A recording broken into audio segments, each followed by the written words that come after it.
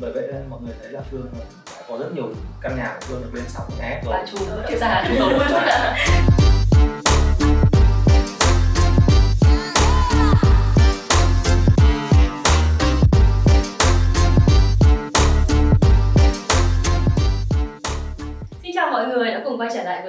Khánh Linh, chị Minh Phương và em Tiến Duy rất vui được gặp lại mọi người. Và sau số Q&A đầu tiên thì nhà em rất vui khi mà chúng tôi nhận được rất là nhiều những câu hỏi và những chia sẻ từ mọi người. Và cảm ơn mọi người đã ủng hộ chúng tôi. Chính vì vậy với số Q&A thứ hai này thì hy vọng là vẫn sẽ tiếp tục được mọi người ủng hộ cũng như là nhận được những cái câu hỏi và những cái chia sẻ từ mọi người nhiều hơn. Ok sẵn sàng chưa À, câu hỏi đầu tiên rất là hay và Khánh Linh đã đọc được trên trên uh, YouTube của nhà em rất là nhiều người đặt câu hỏi đó là 2 tỷ thì có mua được nhà mới ở Hà Nội hay không?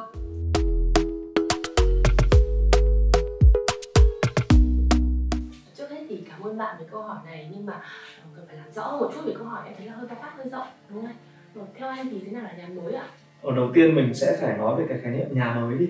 Thì ờ, với anh nhà mới nó sẽ là một cái gì đó nó mới tinh. Nó là cái ngôi nhà mà đầu tiên mình sở hữu và cũng là cái người đầu tiên đứng tên nó. Ừ. thế thì ờ, mình sẽ có thể là chia ra làm hai loại. Một là loại hình nhà ở dưới mặt đất và hai là căn hộ. Thế thì với 2 tỷ mà sở hữu một cái ngôi nhà ở dưới mặt đất tại Hà Nội mà trong cái dự án mới đi tại vì mới thì mình mới mình mới vào tên được đúng không? Thì đó là cái điều gì đó nó bất khả thi nó không thể. Bởi vì như Linh và Phương đã từng được đi rất nhiều các cái dự án và đều đã được tham khảo rất nhiều rồi thì à, mọi người đều biết là cái giá đối với cả những cái loại hình như kiểu liền kề này, hay là song lập hay là đơn lập hay là villa nó rất là cao đúng không Linh Ờ, theo như kinh nghiệm của nhà em đã từng có cơ hội được đi trải nghiệm rất là nhiều dự án, rất là nhiều công trình bất động sản thì giá nhà đất nhẹ nhàng thường là 5 7 tỷ, còn như anh thấy trung bình mà mình đi làm thường là hai con số. Hai con số. cái việc mà với 2 tỷ mà sở hữu nhà mặt đất ở tại Hà Nội thì đó là điều không thể đúng không? Cho nên là trong câu hỏi này thì anh em mình sẽ nói về cái vấn đề là uh, căn hộ đi, phân khúc căn hộ đi. Thế thì với 2 tỷ mọi người uh, có thể sở hữu căn hộ ở tại Hà Nội. Tuy nhiên thì uh, nó sẽ phải phụ thuộc vào cái vị trí bởi vì mọi người sẽ thấy là cái vị trí nó là cái điều mà quyết định phần lớn vào cái giá trị của cái bất động sản đó.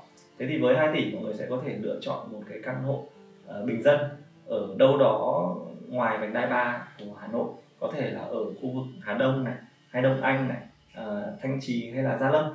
Đó và cái căn hộ đấy thì có thể là nó sẽ có khoảng từ 60 mét vuông hai ngủ trở lên.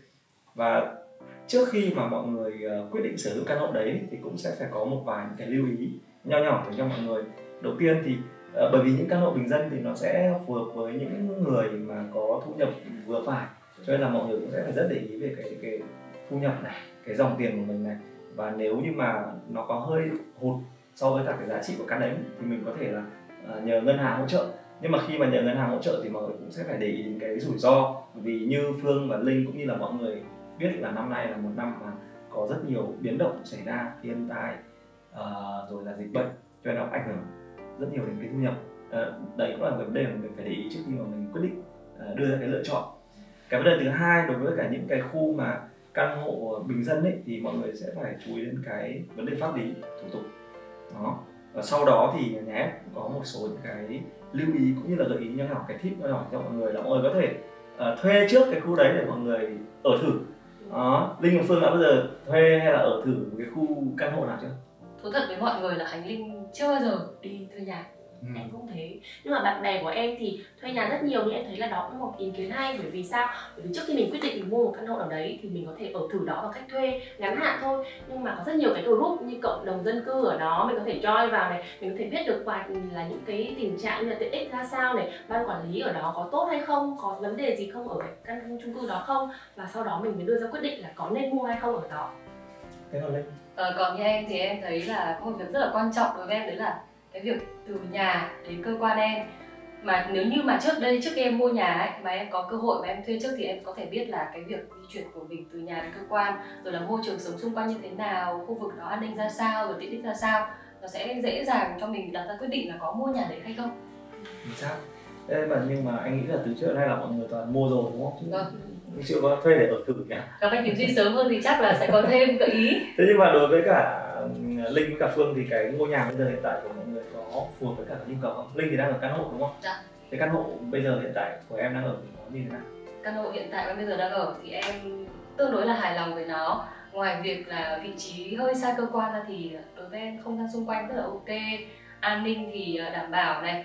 Và mình cũng không cần phải lo quá nhiều về việc là khi mà mình đi vắng ví dụ như em em hay đi công tác xa dài ngày không cần phải lo lắng là về nhà của mình có ai để ý hay không rất là đảm bảo ừ. và môi trường xung quanh cũng ok hàng xóm ok thân thiện mọi thứ rất là hợp lý ừ. và phù hợp với những người mà có lối sống trẻ và năng động ừ. thì đấy là những cái mà uh, lý do để mà khiến cho những người trẻ tuổi hay là những người mà có thu nhập vừa phải lựa chọn căn hộ Đó.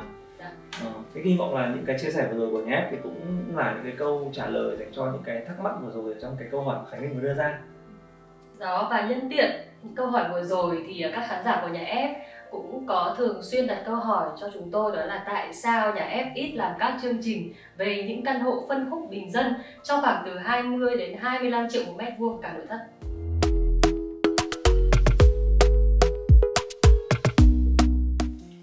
À, em sẽ trả lời câu hỏi đó nói như vậy thì sẽ là hơi oan cho nhà em một chút, bởi vì những số gần đây thì nhà em cũng đã làm ờ, rất nhiều về những căn hộ bình dân như vậy. Uh, nhưng mà các bạn phải thông cảm cho chúng tôi là khi mà chúng tôi lựa chọn những cái video đăng cho các bạn thì chúng tôi phải lựa chọn nội dung này. Uh, căn hộ đó có phù hợp với cái tiêu chí của chúng tôi hay không? Uh, căn hộ đó có câu chuyện hay không? Và thiết kế thì có đẹp hay không? Để chúng tôi đưa lên câu chuyện và chia sẻ cho các bạn. Nhưng mà tôi biết là trong cái thị trường nhà đất hiện tại hiện nay thì rất nhiều phần lớn là căn hộ tầm trung như vậy. Nhưng mà thời gian tới thì chúng tôi sẽ chọn lọc nhiều hơn để gửi tới cái thông tin đó cho các bạn tham khảo dạ, và con cũng có thể hiểu là nôm na ý của chị Phương là nếu như các bạn đang ngồi trên một bàn tiệc thì nhà ép có sứ mệnh mang món ăn ngon nhất đến cho mọi người. Đó. Và có vẻ như là những câu hỏi về nhà cửa đã hơi nhiều rồi. Tiếp theo sẽ là câu hỏi về ờ, con số. Câu hỏi rất là thú vị. Con số hiển thị trong mỗi chương trình của nhà ép là gì?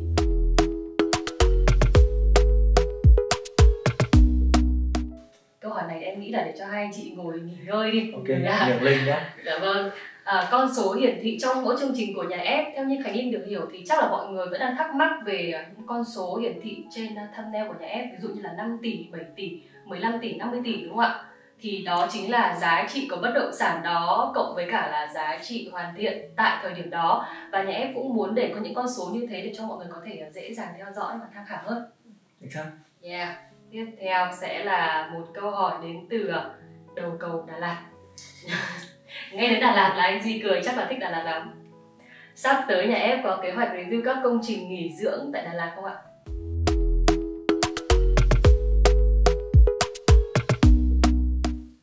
Ờ, trước tiên thì ờ, thôi câu này để anh xin phép trả lời nhé trước tiên thì mình cũng uh, rất thích Đà Lạt.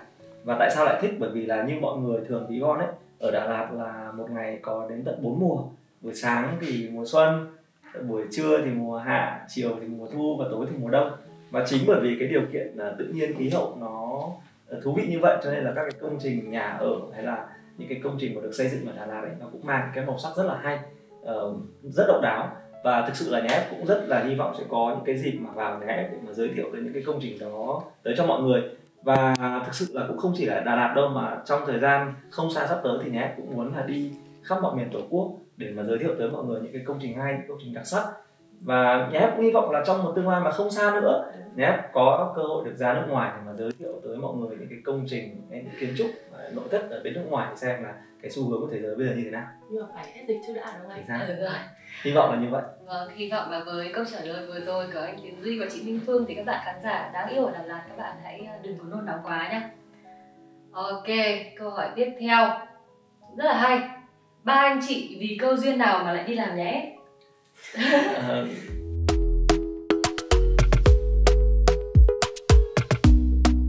câu hỏi này hay thật câu hỏi này hay thật thì thực sự đây là những cái câu chuyện mà anh em của tôi cũng muốn chia sẻ với mọi người.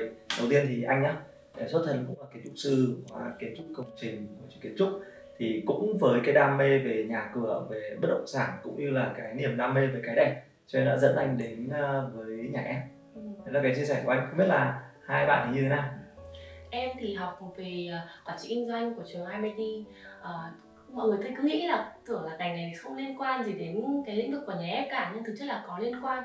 Bởi vì học về tài chính mà thì lúc nào cũng nghĩ là muốn đầu tư đúng không ạ? Thì à, cái cơ hội đến với nhà ép thì được à, khơi sáng cho em nhiều cái cơ hội đầu tư hơn và biết được nhiều cái thế mạnh của bất động sản hơn. Còn Linh. Ờ, còn bản thân em thì thật ra để mà nói là học thì cũng một ngành cũng không có liên quan lắm. Đến kiểu nhà cửa chẳng hạn em học uh, kinh tế ở đại học ngoại thương hà nội nhưng mà cũng rất là may mắn được à, bén duyên với cả nghề dẫn chương trình rồi sau đấy thì có cơ hội được nhà em offer. Thế là mình đã nhanh chóng nắm, nắm bắt lấy cơ hội và cảm thấy đấy là một quyết định vô cùng may mắn tính thời điểm này. Thế thì tóm lại là anh đến với nhà em là bởi vì yêu cái đẹp về kiến trúc về ờ, công trình đúng không? Phương thì là thích đầu tư. Ờ, bởi vậy nên mọi người thấy là phương có rất nhiều căn nhà của phương được lên sóng nhà ép rồi bà Ờ. Ờ, sau đấy thì linh là một người thích trải nghiệm thích những điều gì mới mẻ cho nên là đó đã tham gia nhà ép Ok, vậy có lẽ là chúng ta hãy cùng đến với câu hỏi à, cuối cùng đi. Các bạn khán giả rất hay hỏi là nhà ép có quy chuẩn nào trong mỗi video không ạ?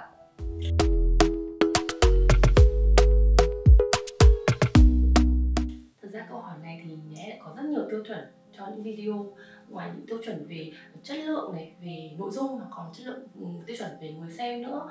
Về chất lượng nội dung thì uh, chúng tôi phải lựa chọn những cái video có yếu tố là uh, thiết kế đẹp này, uh, nội dung hay, câu chuyện rất là hay để chia sẻ cho mọi người. Còn về uh, chất lượng thì phải là yếu tố là 4K này, có flycam này, uh, bao quát hình ảnh uh, mô phỏng tòa nhà dự án như là rất là kỹ càng cho người xem. Còn yếu tố về người xem thì linh có thể chia sẻ cho các bạn được không?